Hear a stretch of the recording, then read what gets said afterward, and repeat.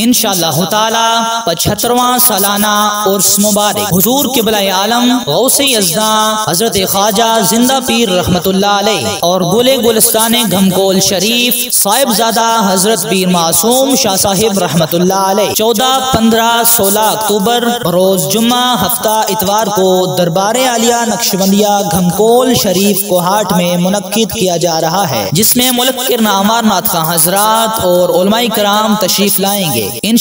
ताला 16 अक्टूबर सन 2022 बरोज इतवार बाद नमाज जहर खत्म खाजियान शरीफ और जिक्र की महफिल के बाद हजूर के बला आलम पीर बादशाह साहिब आलम इस्लाम के लिए दुआ फरमाएंगे उर्स मुबारक के बाबरकत अयाम में शिरकत बायस सादत और सवाब है मजीद वीडियो और अपडेट्स के लिए हमारा यूट्यूब चैनल घमकोल शरीफ को हाट करमात विजिट कीजिए